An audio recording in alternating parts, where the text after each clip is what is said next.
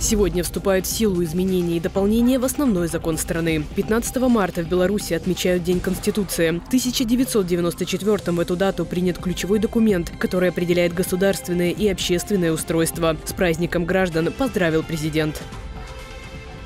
Стране подорожало автомобильное топливо. Стоимость выросла на 2 копейки. 92 теперь стоит 2,06, 95 и дизель 2,16, 98 2 рубля 38 копеек. Как пояснили в Белнефтехимии, такая мера принята с учетом роста мировых котировок нефти.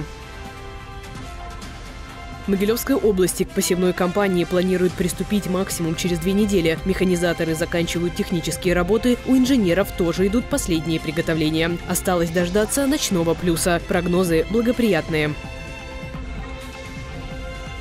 С начала года в Могилевской области спасатели 15 раз выезжали на ликвидацию загораний сухой растительности. В МЧС напоминают, весенние палы ежегодно наносят серьезный урон окружающей среде. Нельзя сжигать изделия из пластика и резины, окрашенные куски дерева, старую мебель. Эти материалы выделяют опасные для здоровья вещества.